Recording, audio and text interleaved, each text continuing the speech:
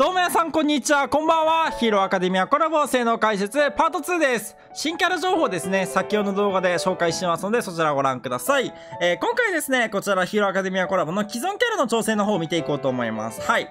既存キャラの進化情報、そして能力調整すべて見ていこうと思いますので、よろしくお願いいたします。えー、ということで実際に見ていきましょう。あ、こっちですね。進化情報から見ていきます。はい。えー、既存キャラからですね。こちら、デクからですね。えー、まずはデク、進化増えます。えー、変身キャラではなく、あくまで普通の進化キャラになります。えー、ということでデクから見ていきましょう。覚醒はバインドプラス、スキブ4つ、十強無股間に、十字2つ、L 字にボイス覚醒持ちです。また尖ってますね。十字2つ L 字っていう。小学生は回復 L 字10強追い打ち持ってます。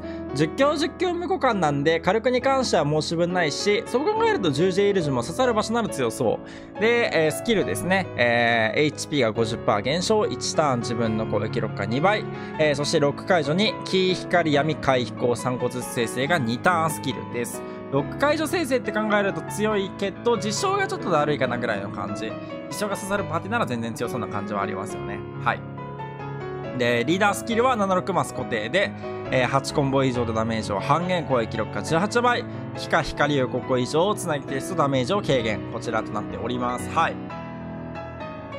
なるほど、76リーダーなんで、76運用としては強いかなって感じで、覚醒に関しても火力は申し分ないですね。スキルがちょっと刺さる場所、刺さらない場所あるので、まあそれ次第って感じにはなりますが、え、これがデクの新しい進化ですね。はい。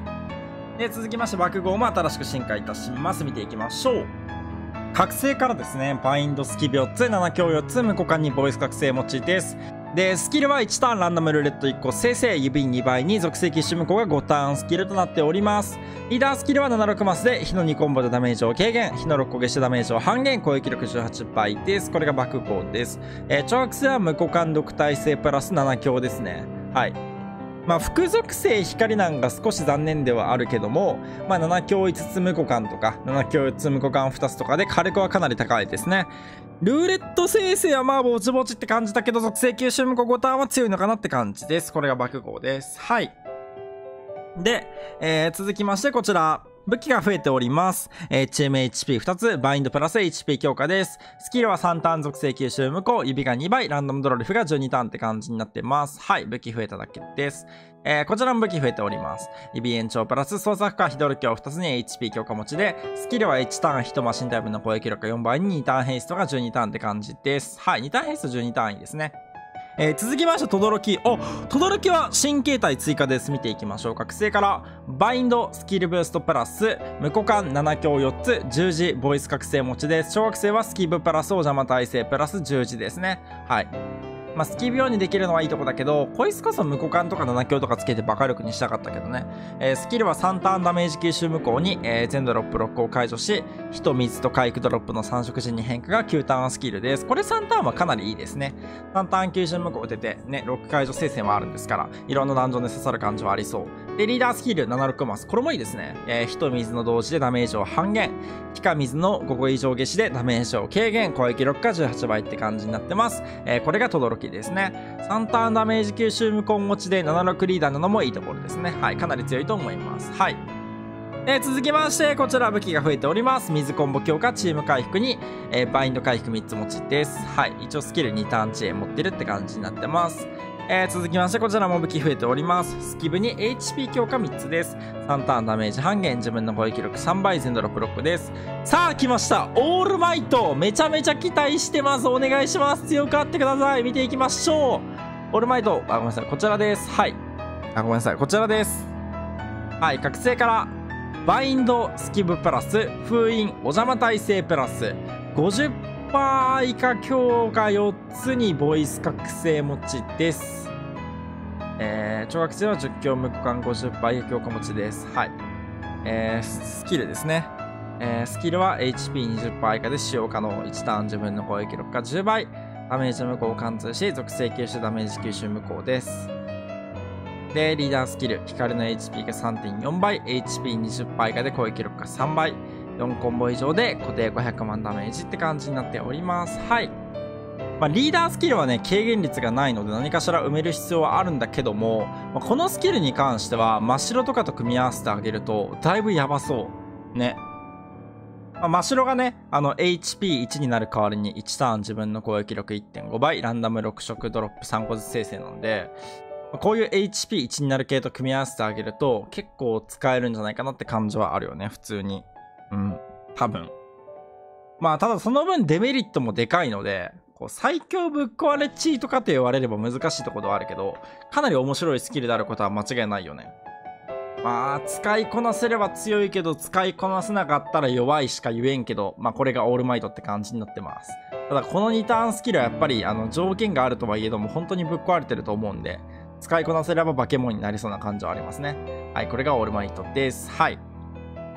で、続きましてエンデバーです。実装当時から全く使われてないんで、ちょっと救われてほしいですけど、え覚醒見ていきましょう。バインドスキブプラス封印、超つなげし、2つ枝豆3つ、ボイスです。